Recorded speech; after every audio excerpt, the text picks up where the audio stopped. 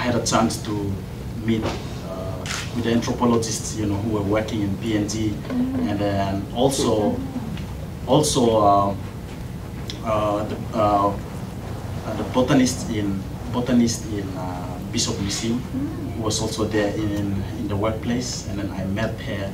Saying, "Oh," and then she gave me her contact address and all this, and I said, "Okay, if you're interested in you know, pursuing to you know further studies, these are the opportunities."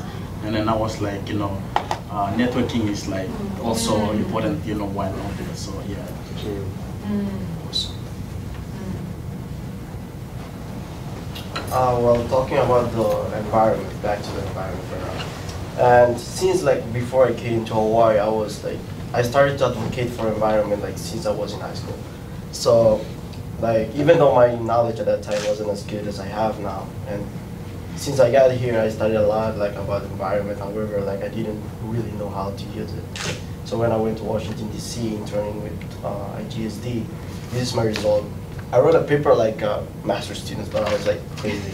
However, like somehow I was like, it was a very tiring job though. But I somehow enjoyed it mm. and I gained a lot of knowledge. And particularly in Timor-Leste, like environment is one of the things that our country like has to prioritize in the near future. So like there we were talking about black carbons. So black carbons comes from like people are burning stuff, especially coals and everything.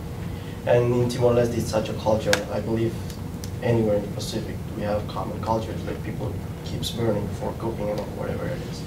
So I studied about the black carbons and then the impacts, especially to humans' health, about that, and and understanding the people like the rate of people who are dying in Timor-Leste.